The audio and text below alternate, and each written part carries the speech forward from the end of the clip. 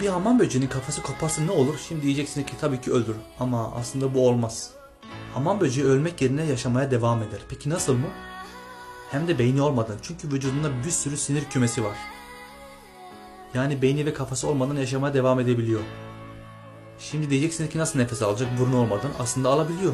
Vücudunda bir sürü delik var ve o deliklerden nefes alıyor. Ama buna rağmen zamanla ölecek çünkü su içmediği için kafası yok ya dehidrasyondan ölecek.